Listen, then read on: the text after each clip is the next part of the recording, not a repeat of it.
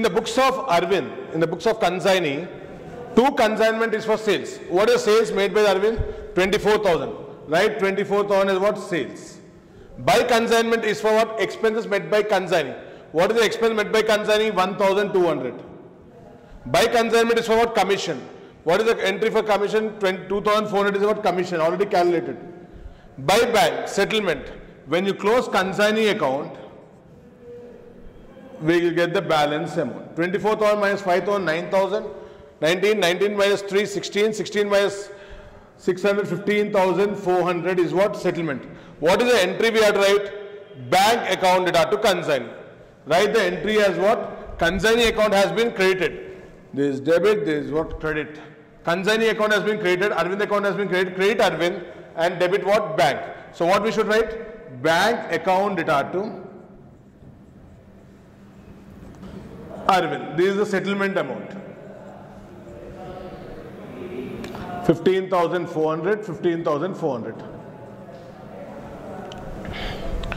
In goods sent on consignment, what is the first entry? Consignment account data to goods sent on consignment. In goods sent on consignment, we'll write what? By consignment for sending the goods. How much is the worth of goods we have sent? 20,000 worth of goods we have sent and this should be transferred to what? Trading or purchase. To trading or purchase 20,000. Close the account 20,000. 20,000. What is the entry we should write for this? Goods sent on consignment is debited. So debit goods sent on consignment and credit what? Trading or purchase. So write goods sent on consignment account data to trading or purchase. 20,000, 20,000. So the shortcut method is what?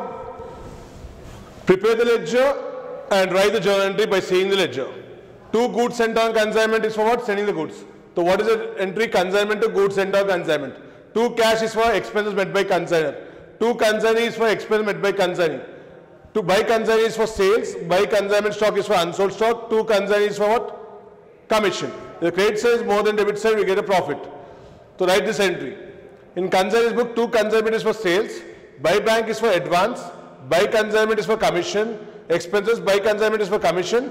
And when you close this account, you will get the balancing figure which has to be settled by the consignee. Which has to be, this is the amount which has to be paid by the consignee to the consignor. In goods and on consignment, by consignment is for selling the goods. To trading or purchase is for transfer. So this is the tenth problem. And whenever bad debt is there, we have to check whether we are paying non uh, credit commission or not. Whenever we are paying del credere commission, the loss is to be borne by consignee. So it is not by the consignor to leave this entry first. Go for the next problem, we'll start the invoice price. So what is invoice? Goods can be sent by consignor to the consignee at cost price or above the cost price.